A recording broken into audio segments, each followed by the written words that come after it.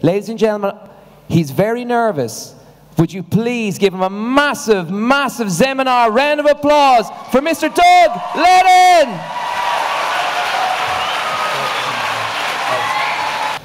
Right, as Gordon said, I'm extremely nervous to be talking in front of so many people. It's not something I feel comfortable doing.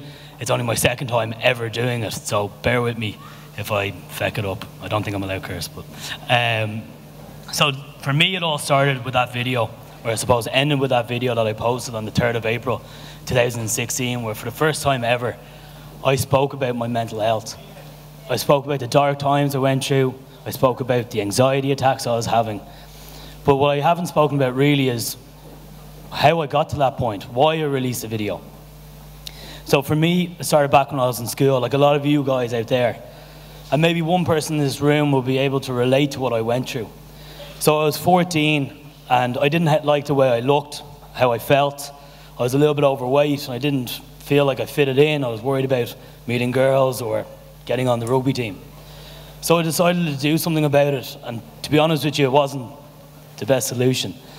I developed an eating disorder. So every time I ate, I threw it back up again. Then I'd eat and I'd throw it back up again.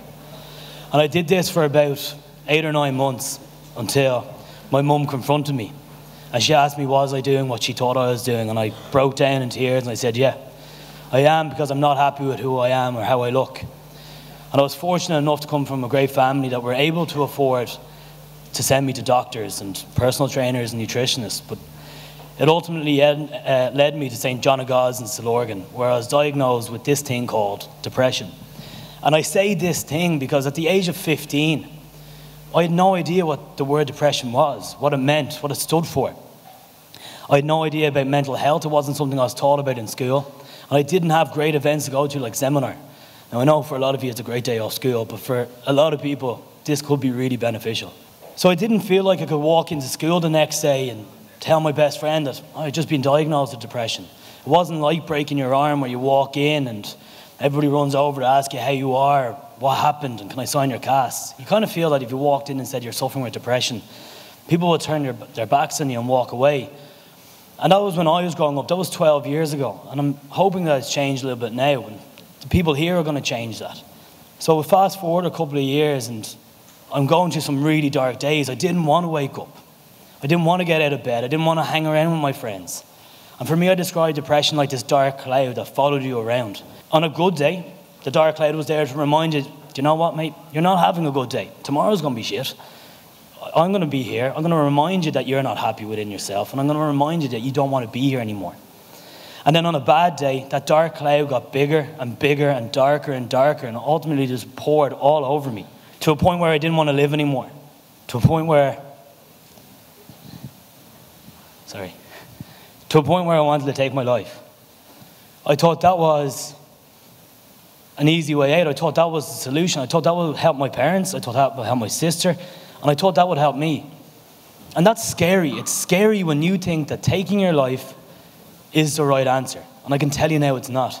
But at the time, I can see why so many people in Ireland do it because there's very few people talking about mental health, and you do feel alone after school finished for me, I went into college where I lasted about three months, dropped out. Um, probably because of everything I was going through, slash didn't want to be there.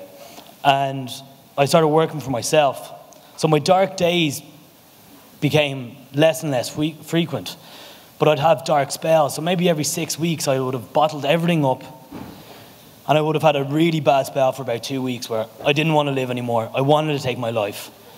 I needed to go to doctors. I needed to get my, my medication upped or continue it or go continue uh, to doctor's sessions. And that was really tough as well for about three or four years, knowing that you're still not okay, that you still might end your life at any given point. And fast forward a couple of years then, I got diagnosed with this thing called Crohn's disease. And a lot of people don't know what Crohn's is, and it's an inflammational bowel disease. It affects the inside of my stomach, and it's something I live with every single day. So standing up here, none of you would have known that I have Crohn's when I walk out here because it's an invisible disease, exactly like depression. But the difference for me with Crohn's and dep depression was I wanted to grab Crohn's by the horns and, and, conquer it. I didn't want to end up losing a good bit of my, uh, my intestines or having a bag or being run down and not having energy. I wanted to tackle it head on. And I talked about my Crohn's to my friends. I opened up, even though having Crohn's is kind of disgusting.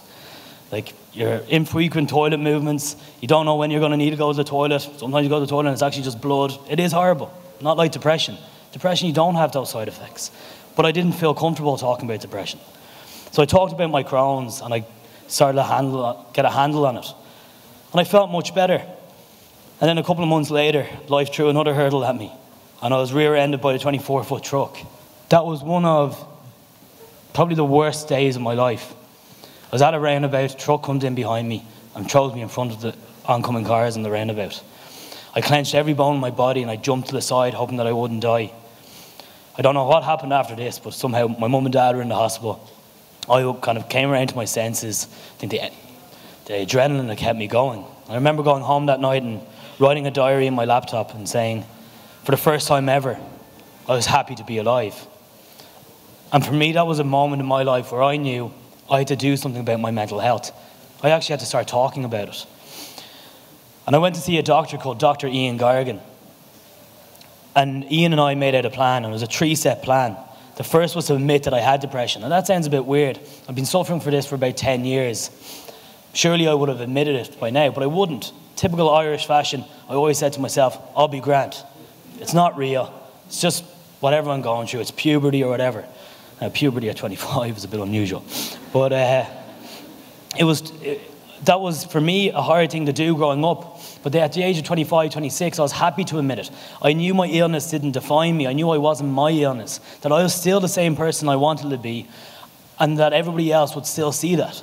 So I admitted to having depression. I took my tablets, even though my mum down there somewhere will tell you that I didn't. Um, but I did. I ultimately ended up taking them for a good period of my life. The second step was to open up and talk to one or two friends, and I did that in Dublin and Galway, where I live part time. And for me, that was an amazing feeling. To open up and to talk to someone was incredible. It made me feel comfortable around them, and it made me feel like I was Doug Leddin, not Doug living this other life to everybody else. And the third step was to open up to all my friends in the WhatsApp group, the lads. The lads that slag you day in, day out, because that's what friends do, especially guys. And that was for me the hardest challenge of this kind of journey that I was on. I didn't know how I was going to do it, when I was going to do it, or if I was ever going to do it at all, to be honest. But then in March, I was at a friend's funeral of a brother, sorry, my friend's brother's funeral, and he took his life. And we're all standing outside the church. And a lot of people were coming up to us in the circles that we were in saying, Isn't that awful? If we knew what that guy was going through, maybe we could have helped him. Maybe this, we wouldn't be here today. Or if we knew what everybody was going through, maybe we could prevent this in the future. Maybe we could actually put Pieta House out of business because they don't, we don't need them anymore. And that is ultimately Pieta House's goal, that we don't need to, to have somewhere to go to because we can talk and we can be open and we can get, seek help. I drove home to Galway at the afternoon after agreeing with everybody, yeah, it would be great if we all talked about it. I started crying on my way home to Galway knowing I am part of this problem. I am part of a problem in Ireland where people suffer in silence and that's not okay. I wasn't the cause of the problem, but I wasn't helping it. So I got, got to Galway that afternoon and I sent a message to my friend who's a videographer and I asked him to record that video. I didn't know if I was ever going to put it up. I didn't know why I was going to put it up or even why I was going to put it up through Facebook. I just thought it would be easier to tell everybody in one fell swoop what I was going through for so many years. So on the 3rd of April, I posted a video. And my life hasn't changed. I haven't cured myself. A video or a Facebook status or a message in the WhatsApp group isn't going to cure you from depression or mental health challenges that you're going through. But it will help. It will make you feel a hell of a lot better knowing that your friends sitting to the left and right of you are there for you. And I suppose what I want to get out of this today is to encourage every single one of you out there to open up, to talk about your feelings. We as a generation need to start opening up so that the future generations in Ireland have a happier place to live in. And that's why it's so important that you guys are the change in Ireland. Thank you.